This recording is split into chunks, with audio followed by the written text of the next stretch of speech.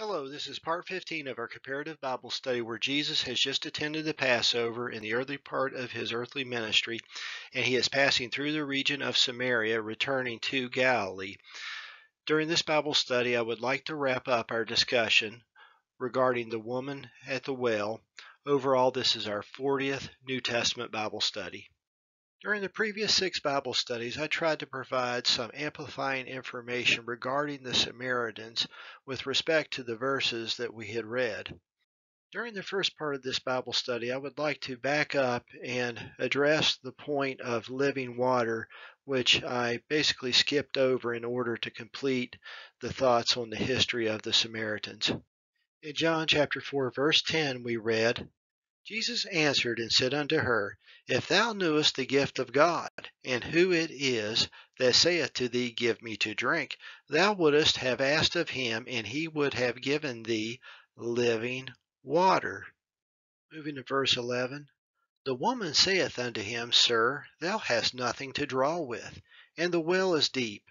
From whence then hast thou that living water? In New Testament Bible Study 30, among other things, we discussed how Jesus often spoke in parables, and sometimes that would confuse people because they would try to take him literally when he had a spiritual meaning. For example, when Jesus said in chapter 2 of John, Destroy this temple, and in three days I will raise it up he was speaking of the temple of his body, but the Jews thought he was talking about the literal temple building. The structure. Likewise, in our current Bible study, the woman at the well took this comment about living water literally and said to Jesus, Thou hast nothing to draw with, and the well is deep, thinking he was talking about actual water from the well. Well, if Jesus was not speaking of actual water, what may he have been speaking of? Later in John chapter 7, there is similar language used regarding living water. There we read, In the last day, that great day of the feast, Jesus stood and cried, saying, if any man thirst, let him come unto me and drink. He that believeth on me, as the scripture has said, out of his belly shall flow rivers of living water. But this spake he of the Spirit, which they that believe on him should receive.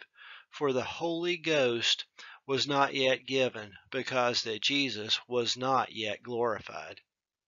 With respect to the woman at the well, could Jesus have been speaking of the Spirit when he spoke of living water? Let's move on to Jesus' response to the woman at the well in John chapter 4, verses 13 and 14. Jesus answered and said unto her, Whosoever drinketh of this water shall thirst again, but whosoever drinketh of the water that I shall give him shall never thirst. But the water that I shall give him shall be in him a well of water springing up into everlasting life. This appears to be similar language to what we discussed earlier in John chapter 7.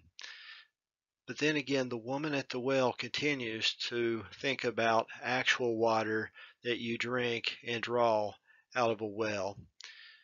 After this, it appears Jesus shifts gears in verse 16 we read, Jesus saith unto her, Go, call thy husband, and come hither.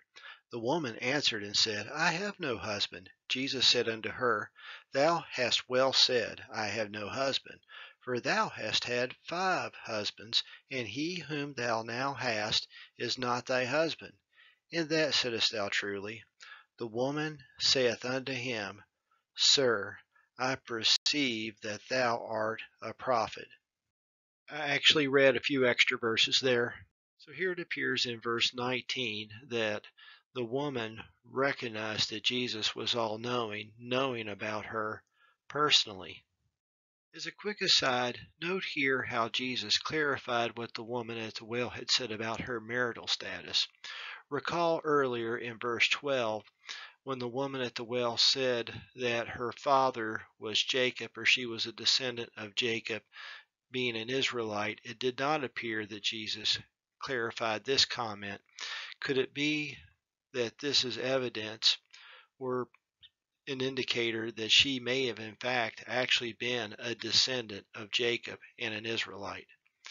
Moving on, the woman at the well, thinking that Jesus was a prophet because he had all this correct personal information about her, asked him a question regarding the religion of the Samaritan people as compared to that of the Jewish people. We discussed these religious differences in the previous two Bible studies. Moving on, Jesus answered her question, and she immediately went to the issue of the Messiah, which is also called Christ, and Jesus connected the dots and let her know that that was Him. Note earlier in this Bible study we were speaking of the Spirit. Notice here the requirement to worship the Father in spirit and truth because God is a spirit. Let's move on to John chapter 4, verse 27. And upon this came his disciples and marveled that he talked with the woman. Yet no man said, What seekest thou? or Why talkest thou with her? As you recall, especially in New Testament Bible studies 35 and 36, we covered a lot of past conflicts between the Jews and the Samaritans, and even the woman at the well was surprised that Jesus, being a Jew, would speak to her, being a woman of Samaria. Picking back up in verse 28, the woman then left her water pot and went her way into the city and saith to the men, Come, see a man which told me all things that ever I did. Is not this the Christ? Then they went out of the city and came unto him. So through all these things, the woman at the well is convinced that Jesus is the Christ. Let's move on to verse 31. In the meanwhile, his disciples prayed him, saying, Master, eat. But he said unto them, I have meat to eat that ye know not of. Therefore said the disciples one to another, Hath any man brought him aught to eat? Jesus saith unto them, My meat is to do the will of him that sent me, and to finish his work. Say not ye, There are yet four months, and then cometh harvest? Behold, I say unto you, Lift up your eyes and look on the fields, for they are white already to harvest.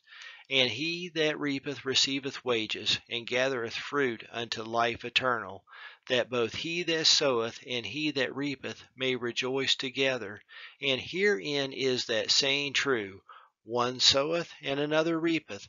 I sent you to reap that whereon ye bestowed no labor. Other men labored, and ye are entered into their labors. Notice here it says, Four months, and then cometh the harvest. Passover is a springtime feast. Note also John chapter 4 verse 6 said that this took place around the sixth hour, which would have been noontime.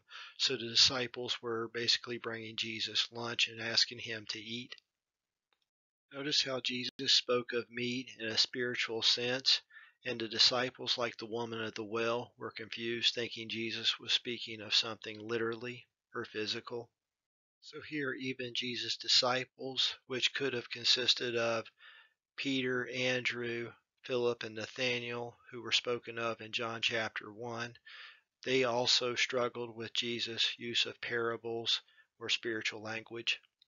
Let's move on to verse 39. And many of the Samaritans of that city believed on him for the saying of the woman, which testified, He told me all that ever I did. So when the Samaritans were come unto him, they besought him that he would tarry with them. And he abode there two days.